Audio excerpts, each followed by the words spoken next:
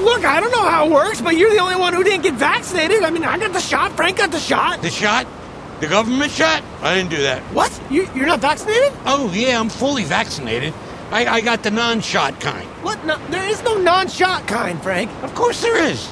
The, the, the, the hydro pills and the and the bleach and the, the horse dewormer, the the president stuff. Wait, wait, Ah, wait, Why would you not take the shot? Well, they put the thing in your arm with a chip and it goes inside your body. I heard the nerd on the island talk about it. That once they get that thing inside of you, they can control your thoughts. They take your thoughts, download them, put them into a manatee. What is he You know talking what I about? mean? Why is he talking about manatees? They- Guys, this is what I'm learning, okay? I had COVID. I gave it to Frank. Frank gave it to your dad. Frank killed your dad. God damn Well, it! wait, wait a minute. To be fair, COVID killed your dad. I just gave it to him. Okay, well, this is insane.